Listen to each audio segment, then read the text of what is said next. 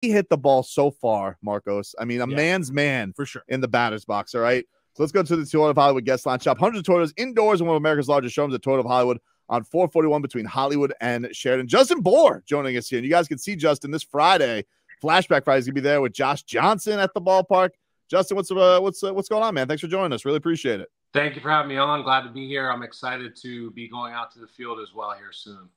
How uh, has this is this your first time uh, back, Justin? You had a really great career with the Marlins. Is this your first time getting a chance to go back to the ballpark and, and see the fans? It'll be the first time I've been back. I was there in 19 with or 18 with the Phillies for a brief period, but uh, Yeah. after that, yeah, this is this will be my first time back in Miami. You still Yeah. got pine tar in your hands for not You know what? using I was gloves? looking at some in the garage. I was thinking if I could get, throw a little bit on the bat here. it, it, it has to be. I mean, there is no indication of how strong a human being is than a guy who bats without gloves. You know, I, I was thinking I should make my own cologne or something like that, some pine tar scented cologne. It just, it just reeked on me like for days. we uh well, we had you know back when I had my uh my terrible bet with Christian Yelich where I had to eat crow because I doubted him for uh you know his uh, his home run hitting ability before he ended up becoming a National League MVP. No I don't big know. Uh, yeah, yeah, it was a, it was a, it was a tough look for me there, Justin, back in the day. But he would say like your hands uh, after a game were disgusting. He said I, like I, I I couldn't be near Justin Bour after a game because his hands were so gross. Uh, what what could you just describe what would go through? Like, look at those mitts. They're What- clear what- now. They're clean. They're They are, like what goes into the process of your of your hands during a game hitting no batting gloves, the pine tar, the grossness that's there. It depends on the day, to be honest with you, uh, and the place that you're playing at. So you get a little bit of dirt, you get a little bit of that pine tar, you get a little bit of that stick, and it, it, it's a long process. I don't want to take up too much of your time. I got You have all the time in the world. You have all the time. in the world. All right, so if it's extra humid, then I would prop I would probably grab um, a little bit of rosin first. Yep. I'd throw it on there on the uh, on the rag. Got to dry the hands out. Got to Yeah. dry them out. Yep. Then I would go with the um, liquid stuff, and then as the stick as well. So if you were to look at the bat, it would be uh, bare at the bottom. Then the stick would be above it, and then above that would be the uh, liquid pine tar. So depending on the day, I'm either grabbing from the top or the middle. So Would would you ever go towards because there's been legends of back in the day of of bare-handed hitters that they would pee on their hands, like to to, to prevent to, to callous the hands. This was known uh this was a legend of the Alou family. Uh we've we've wondered uh was Justin Bour ever a hand peer? Would he ever I'm go not, I'm that not a hand peer. Never have been. Never. never Aha! I, he I never really, I never really even got uh, callous. To be honest with you, I was very fortunate. So No, you're just strong as an ox, and those guys don't need all that extra stuff. Um, I have a question for you. far away.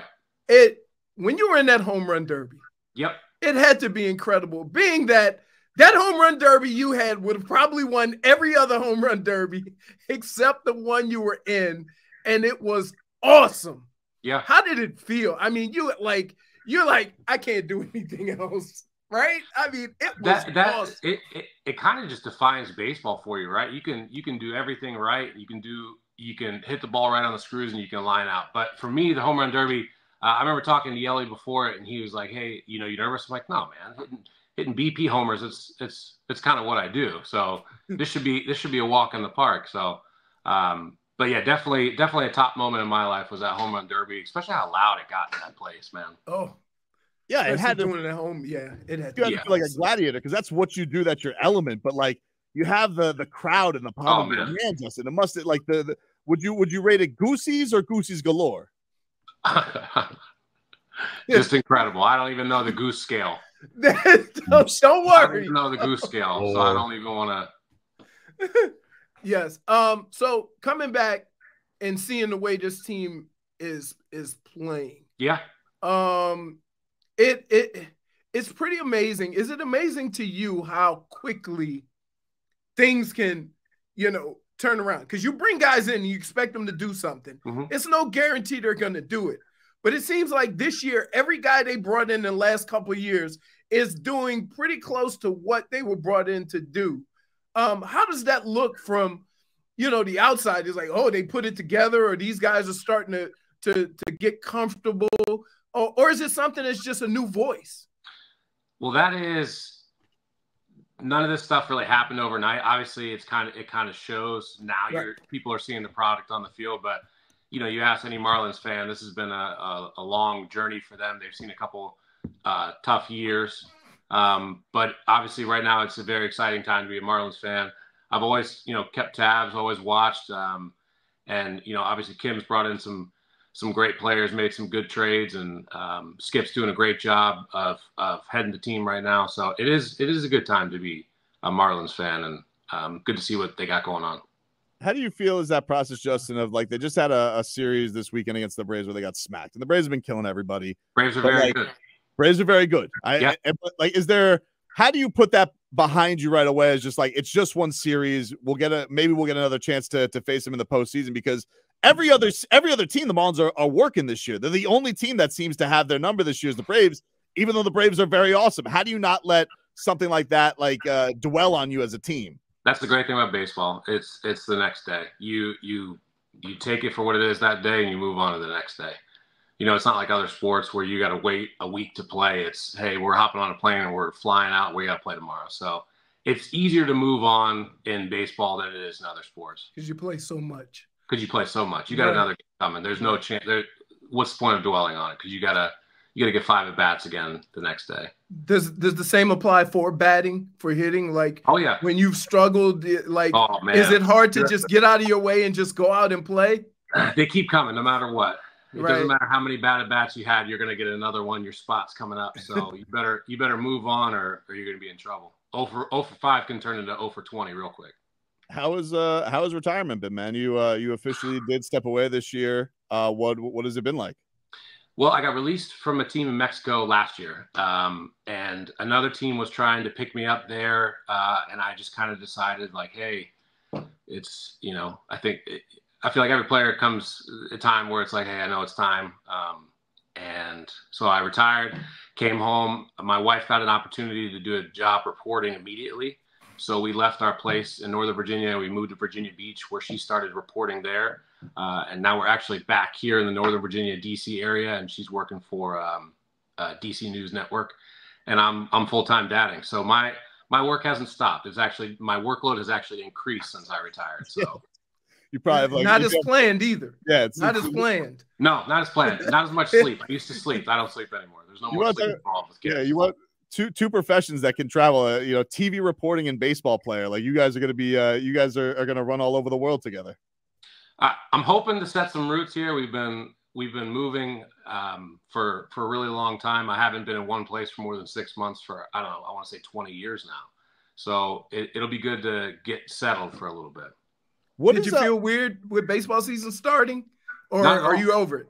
No, I'm not. I'm not over it, and that and I think a lot of people they go through different yeah stuff. I've been I've been following because I, I was overseas. I was in Japan. I was in Korea. I was in Mexico. I've been all over the place. So mm-hmm. I always kept watching MLB when I got a chance to, and um, I, I, feel like I haven't really left uh, per se, but um, I'm enjoying it. It's just it's just um, right. Oh, right now I'm finishing up my undergrad degree at George Mason and uh, figuring out what's next. Do you uh like when you're traveling the world, like you're going to Korea, Japan, what is uh, the thing that stands out to you about baseball internationally from a- after after your your successful MLB career? Like, what were the things that you're like, man, I can't believe baseball is treated this way around the world? How how good it's gotten, how the good the the leagues are. Uh, the NPB in Japan is uh, no joke. I mean, obviously, you guys watch the WBC. I'm assuming um, Japan they got some they got some real talent over there. Um, but yeah, I think it's just with how with how good those leagues and have gotten, how competitive they are. Do those uh, do those other leagues have the unwritten rules?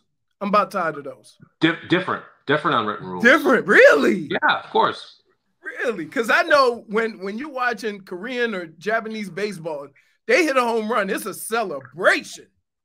They enjoy that, and um, hey, Mexico is even more. they'll bat they'll bat flip with the best of them in Mexico.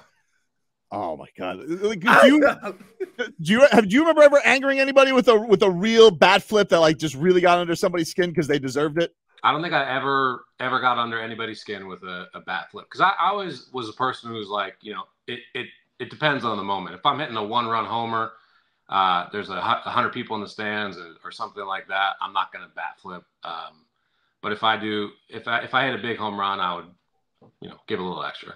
It depends on the situation. Well, I, I, always said if if I was a baseball player mm-hmm. and a pitcher can do hip thrust when he strikes me out, if I hit one 400 feet, you getting my best work. Tip for tap, yeah. Yeah. You guys can watch uh, Justin Bour this weekend. He's going to be at uh, at loanDepot Park with Josh Johnson. Flashback Friday coming up for the Phillies series here. So you got uh, you know one of the best sluggers, one of the best pitchers there to meet over at the ballpark. Justin, we really appreciate the time, man. Thank you Thanks, so much. Justin. Appreciate Thanks for having me, guys. Alrighty. There you go, Justin Bour. Always hey, a delight. Still like him.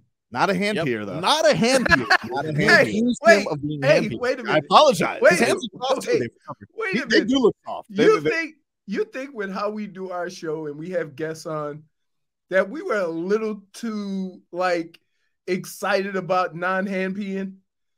Because no. me, me, no, me and Marcos went into full.